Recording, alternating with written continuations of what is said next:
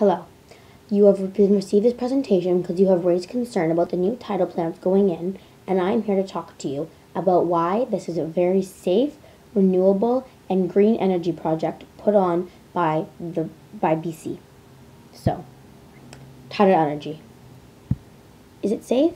Let's find out. Well, what is it? As you can see from this diagram, you can see the tide going in and you can see the tide going out. And there's a little definition right there.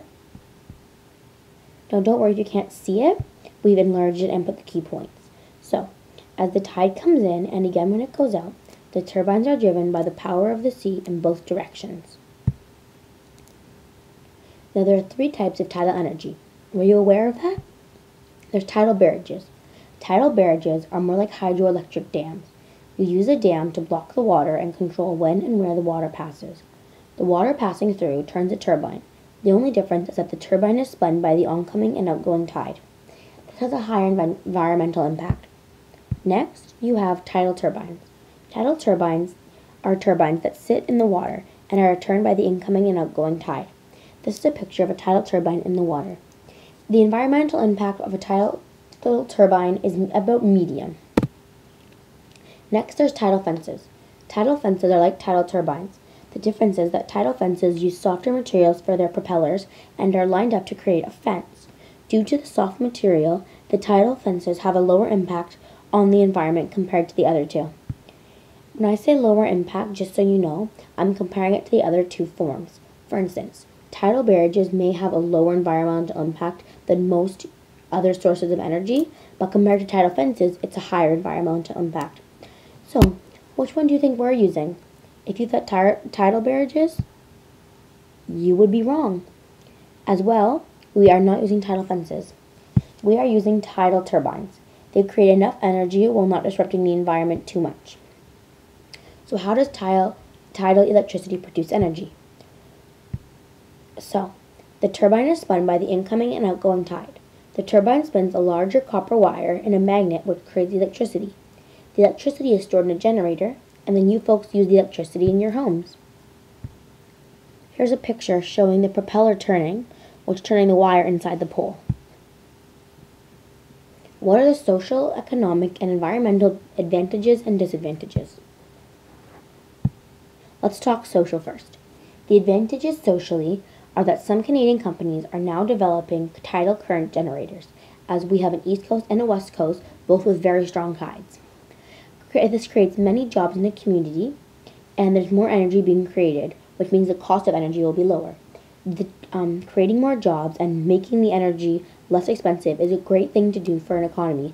It really creates a sustainable economy in that people are making more money and spending less of it. That's basically a utopian economy.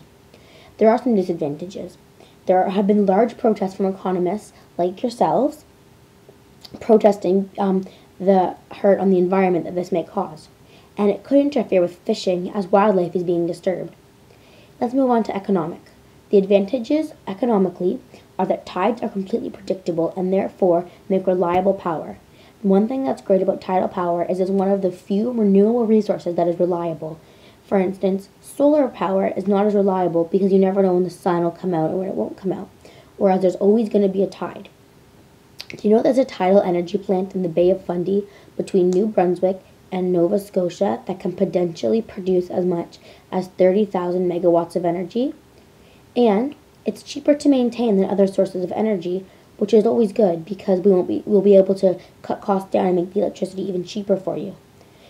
Now there are some disadvantages as well.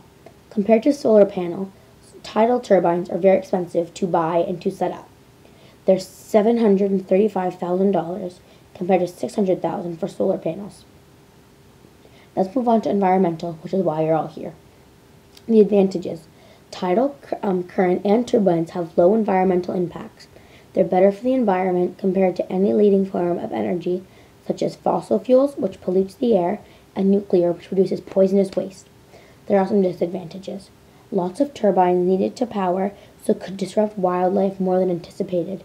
This could range from 50 to 200 turbines. There's also a 20 to 80% mortality rate of fish passing through the turbine.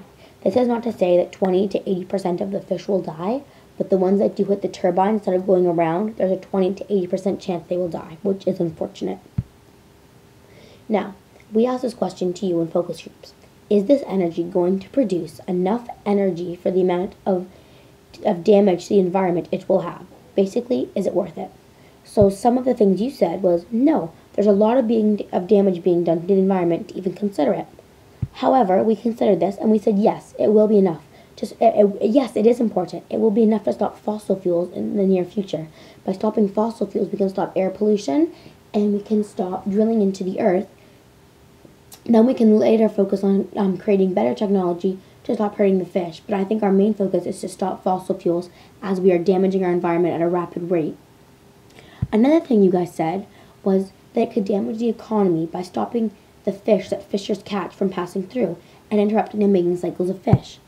But did you know that fish will still be able to pass just a little slower as they'll have to dodge a bit around the turbines? Um, but that won't have that large of an effect on it. If you don't believe us, there did you know that there has been a tidal plant in France since 1966 that has cut down on their fossil fuel consumption. There has been no serious ecological changes either, and that's with technology much more outdated than the technology we will be using. Thank you. We hope you see tidal energy as a step in the green energy revolution of 2014 like we do.